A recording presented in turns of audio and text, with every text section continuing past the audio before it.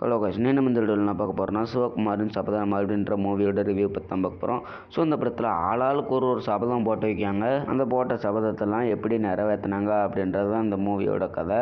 So இந்த படத்தை நம்ம பார்க்கும்போது ஸ்டார்டிங்கில் நம்மளே ஒரு சபதம் போட்டு வைக்கணும். இந்த படம் ஆரம்பிச்சதுலேருந்து முடித வரைக்கும் படத்தை ஸ்கிப் பண்ணாமல் பார்க்கணும். படம் எவ்வளோ காட்டு மொக்கையாக இருந்தாலும் படத்தை உட்காந்து பார்த்துடணும் அப்படின்னு ஒரு சபதம் போட்டு இந்த படத்தை பார்த்தாலுமே நம்மளை அந்த சபதத்தை மீற வச்சுருவாங்க. படத்தோட ஸ்டார்டிங்கில் நெசவா நெசவாளர்களை பற்றி ஆரம்பிக்காங்க.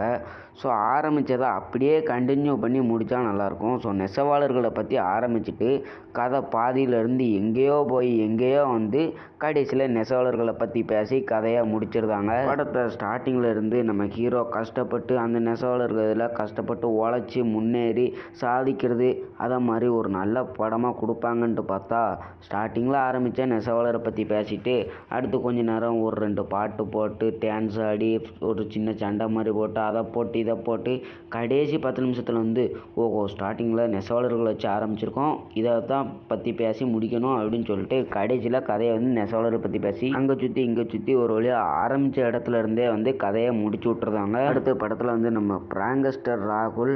ஸோ அவர் வந்து நிறைய ப்ராங்கில் காமெடி பண்ணியிருக்காரு. பட் ஒரு படத்தில் காமெடி பண்ணி வந்து நீங்கள் இது வரைக்கும் பார்த்ததில்ல. படத்தில் அவரோட காமெடி எப்படி இருந்துச்சுன்னு சொல்லி கேட்டிங்கன்னா ப்ராங்கில் இருந்ததுக்கு ஒரு சதவீத காமெடி கூட இந்த படத்தில் இல்லைன்னு தான் சொல்லணும். ஸோ அவரோட ப்ராங்க் வீடியோஸ்லாம் சும்மா சொல்லக்கூடாது. சூப்பராக காமெடி பண்ணுறப்பாரு பட் அந்த அளவுக்கு படத்தில் வந்து இவர் காமெடி பண்ணலை. முக்கியமாக அவருக்கு படத்தில் காமெடி பண்ண வாய்ப்பும் கொடுக்கல. நான் எதை வச்சு சொல்லணும்னா ஸோ நம்ம ப்ராங்கஸ்டர் ராகுலுக்கு வந்து டைலாக் இதெல்லாம் ரொம்ப இருக்கோ இல்லையோ அழுகுத சீன் தான் படத்தில் முக்கால்வாசி இருக்குது ஸோ ஒன்று படத்தில் அழுதுருவார். அப்படி இல்லைன்னா சைக்கோ மாதிரி ஏதாச்சும் பண்ணிக்கிட்டு இருப்பார். ஸோ அந்த ரெண்டு சீன் தான் நம்ம ப்ராங்கஸ்டர் ராகுலுக்கு முக்கியத்துவம் கொடுத்துருக்காங்க. நிறைய ப்ராங் வீடியோலாம் நம்ம ப்ராங்கஸ்டர் ராகுல் வந்து நல்லா அழுகுத மாதிரி சூப்பராக ஆக்ட் பண்ணுவார்.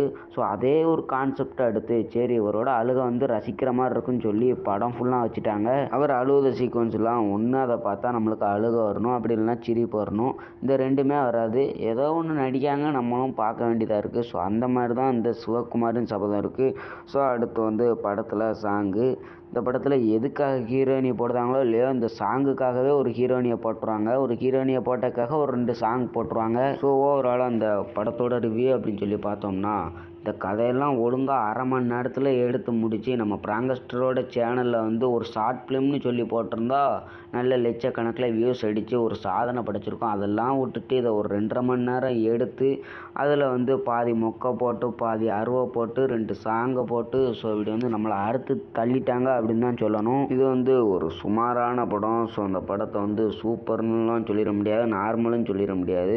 ஸோ இந்த படம் பார்க்கக்குள்ளே நான் மூணு நாலு தடவை தூங்கி தூங்கி விழுந்திருக்கேன். ஸோ அதனால் இது வந்து சுமாராக இருந்துச்சு.